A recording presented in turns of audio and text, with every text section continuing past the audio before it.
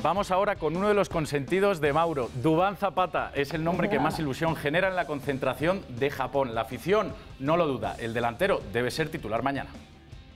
Se quedó viendo el Mundial por televisión a causa de una lesión fantasma que ni él mismo identificó. Debió luchar contra la incredulidad de un técnico que nunca lo vio como el acompañante de Falcao y cambió de club a uno pequeño en Italia. A todo eso respondió de la misma manera. Duan Zapata encadenó la mejor racha para un atacante colombiano en lo que va de la temporada, con 22 goles y 7 asistencias en 37 partidos, lo que de paso le aseguró el regreso a la selección ahora bajo el mando de Queiroz. No fue fácil poderme adaptar Después, bueno, poder, cuando me adapté, pues salieron a flote, bueno, todas mis capacidades. Decidido viene a demostrar lo que vale, junto a Falcao o solo, pero eso sí, en el frente de ataque.